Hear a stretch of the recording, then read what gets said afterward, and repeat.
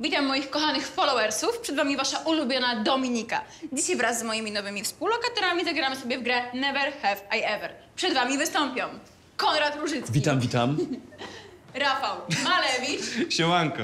i Krzysiek Markowski. Czyli w duecie zespół Jagódki! I oczywiście będę ja. Musicie z nami zostać, będzie naprawdę gorąco. Dobra, zaczynamy. Kądziu, daj telefon. Okej, dzięki. Dobra, pierwsze pytanie. Nigdy, przenigdy nie opalałem się nago. Co? Co? O Jezu. Serio, wolicie mieć linię po gaciach i białe tyłki? Mnie tam nigdy nie zależało na opalonych tyłach. No, dawajcie kolejne pytanie, co? Dobra, następne. Mm, nigdy, przenigdy nie brałem udziału w trójkącie. O, Trójkącik? Serio z kim? A z dwoma facetami czy, czy z laseczką? Okej, i tu już się nasuwa kolejne pytanie. Nigdy, przenigdy nie całowałem się z osobą tej samej płci. Serio? No ja widzę, że ty masz jakieś zapędy. Słuchaj, wszystkiego trzeba w życiu spróbować, ale nie powiesz mi, że gdybyś znalazł się w jednym pokoju z Krzyśkiem, w romantycznej atmosferze, Przepraszam, co chcesz przez to powiedzieć? Nie jestem dla ciebie dość dobry? Weź, odejdź. Dobra, dobra, dobra. Kolejne pytanie. Nigdy, przenigdy nie spałem ze swoim byłym partnerem. Rafał, ty niedobry, ty! No, no zdarzyło mi się, słuchajcie, z Kasią kiedyś. No...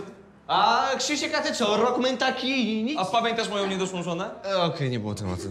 A ty co, kogo sobie wziąłeś na swoją ostatnią jazdę? A czy to ważne? Doris!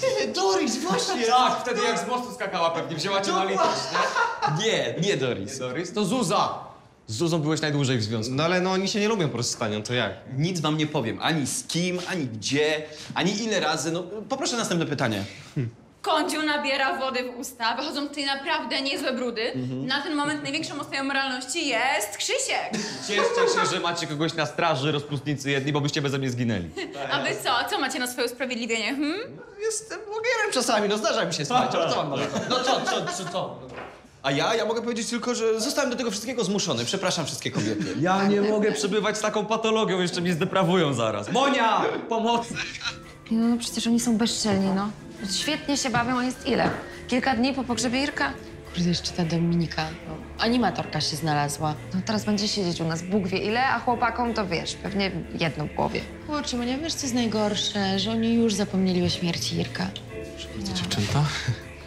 Widzę, że wy nic nie macie pojęcia o męskim ciele, naprawdę. A no to nie, to poczekaj, może nas oświecisz, skoro jesteś takim ekspertem? Ależ oczywiście, osobnik rodzaju męskiego w okolicznościach tragedii życiowej woli nie myśleć o swoich emocjach, a raczej skupić się na tematach zastępczych